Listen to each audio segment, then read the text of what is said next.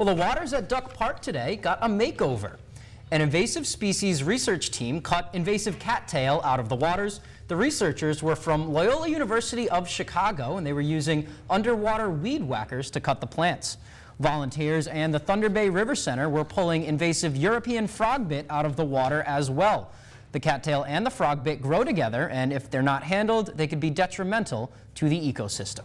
Now, this is one of many projects the Thunder Bay River Center has done in the past years to combat these invasive species.